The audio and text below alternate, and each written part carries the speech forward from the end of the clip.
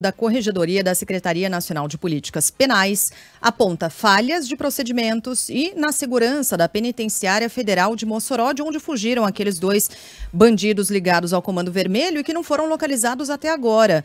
Davidson Nascimento e Rogério Mendonça escaparam no dia 14 de fevereiro por um buraco feito nas celas e até hoje não foram encontrados. A gente vai daqui a pouquinho completar dois meses e nada do paradeiro deles.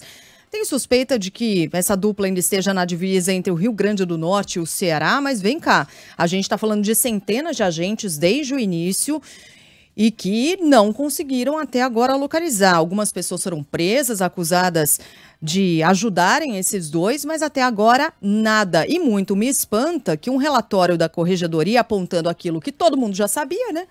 Que, é claro, ficou evidente que houve falha de procedimento, houve falha de segurança, faltava apenas um relatório para atestar aquilo que todo mundo já sabia.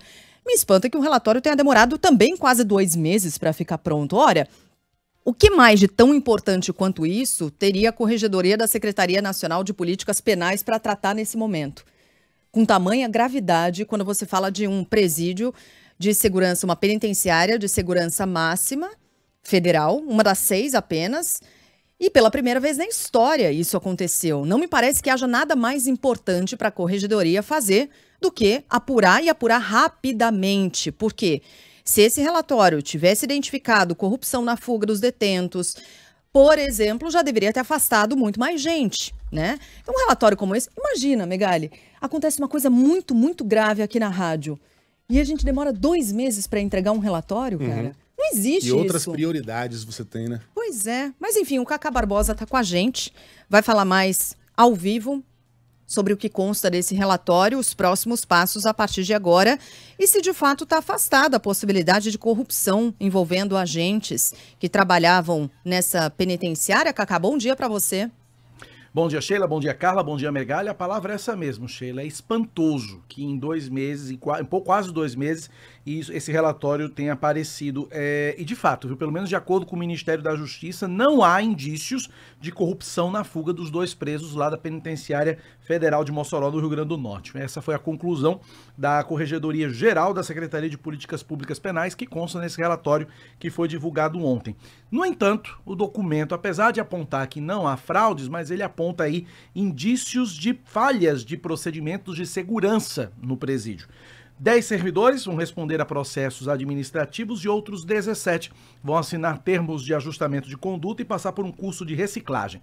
Lembrando que a fuga dos detentos no último dia 14 de fevereiro foi a primeira é, registrada no sistema penitenciário federal desde, 2000, desde 2006, quando ele foi criado.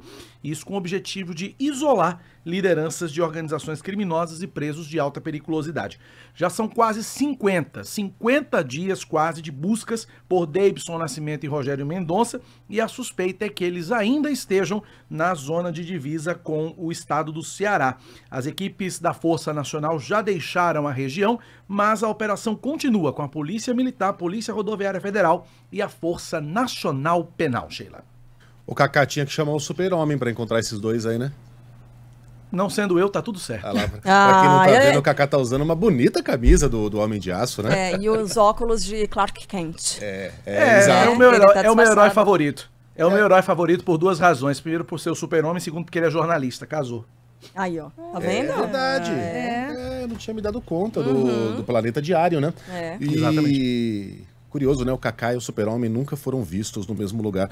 Deixar rapidamente aqui o, o nosso ouvinte. Só para voltar rapidamente a Taiwan, o Hugo me chamou a atenção para um fato importante a respeito do, do terremoto de Taiwan. Kaká, obrigado, meu irmão. um abraço para vocês. Valeu, um abraço. É...